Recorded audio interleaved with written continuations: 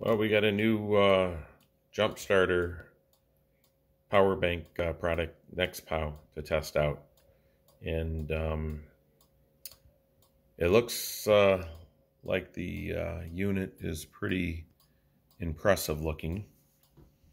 Um, here we get the, uh, I think it's got 2000 milliamp hour battery in there. Um, I've got it connected already to uh, my test load for uh, measuring a load on the uh, the battery pack over here.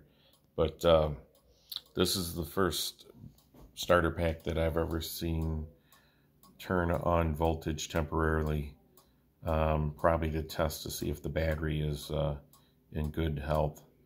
Um, but it you you can see it's outputting a voltage past 16 volts or around 16 volts um, also, I'm measuring the um, the scope measurement of what what the uh, battery pack is doing. It's got uh, this funky uh, square waveform pattern. It's it's putting out, and like I said, it's probably trying to see if there's a battery uh, connected to it. But um, I'm not really sure if I like uh, how it's trying to uh, determine those kind of things. But um, interesting enough, when I um, turn on the uh, the load on the jumper pack, it really does something strange. So um, let's uh, turn on the switch here and see what happens. So it doesn't like a load on the battery pack and it starts beeping.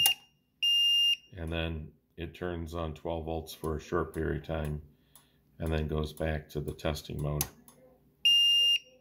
So out of all the uh, packs that I've tested so far, um, this is the uh, strangest operation, and I'm not really sure if uh, if it's worthwhile um, trying to uh, start up your uh, vehicles and stuff. But anyway, I'm not going to do any more testing on this unit. Um, it's it's kind of funky. It does have uh, um, some USB ports on it, and I think on the side there was a, uh, a USB-C interface, plus you, you have a barrel jack, so um, that was kind of nice. I like the, uh, the case here as well. But with this funky behavior, um, this is not going to make the cut for me. Hope uh, you found this video uh, informative.